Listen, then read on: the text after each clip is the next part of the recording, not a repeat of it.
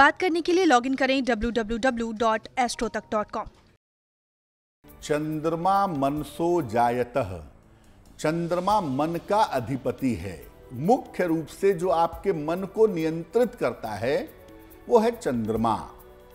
इसके अलावा बुद्ध जो है, वो आपकी बुद्धि है, लेकिन बहुत हद तक ये भी आपके मन को प्रभावित करता है, क्योंकि आपकी बुद्धि भी आपके मन पर असर डालती है।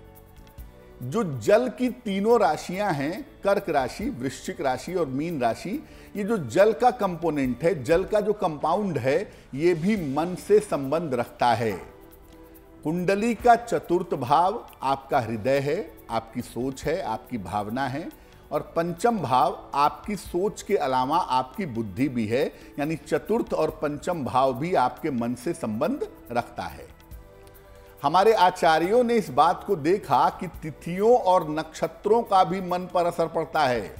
इसीलिए अलग अलग तिथियों पर व्रत रखने की बात की गई, दिनों पर नहीं, तिथियों पर बात की गई। एकादशी को व्रत रखो, पूर्णिमा को रखो, अमावस्या को रखो, क्योंकि अलग अलग तिथियाँ आपके मन पर अलग अलग असर डालती हैं, ये बात भी आपको समझ लेनी चाहिए। मन जो है ना, वो दुनिया में सबसे ज़्यादा शक्तिशाली है।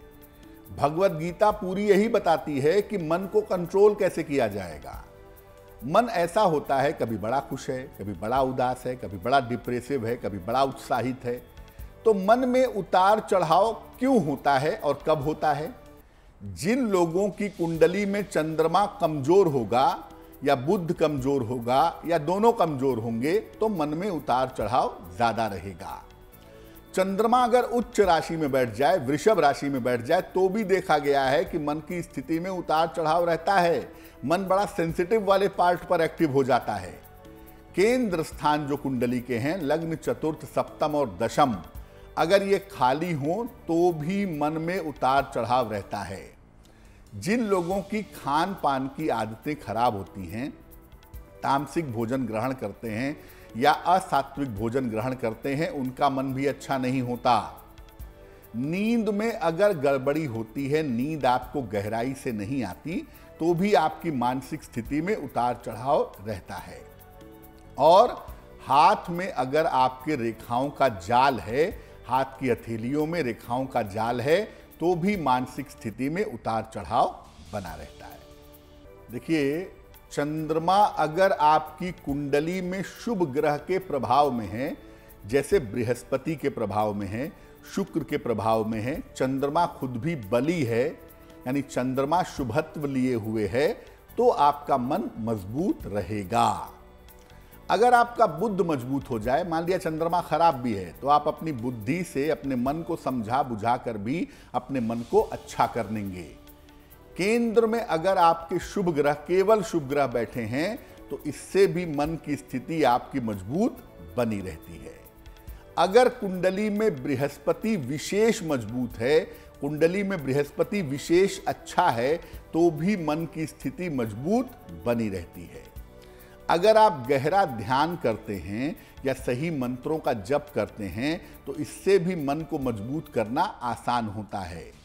जिन लोगों का खान पान सही होता है, रूटीन यानी जीवनचर्या सही होती है, ऐसे लोगों का मन वाला हिस्सा भी बिल्कुल ठीक बना रहता है।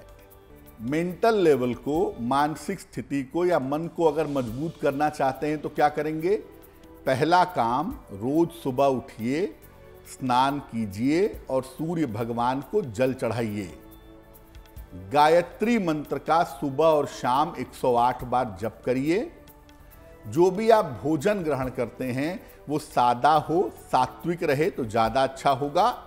साथ ही साथ एकादशी का उपवास ज़रूर रखिएगा, शुक्ल पक्ष की भी और कृष्ण पक्ष की भी। और सलाह लेकर के एक मोती या एक पन्ना अगर आप धारण करें तो आपको लाभ होगा, लेकिन बिना सलाह के मत पहनिएगा।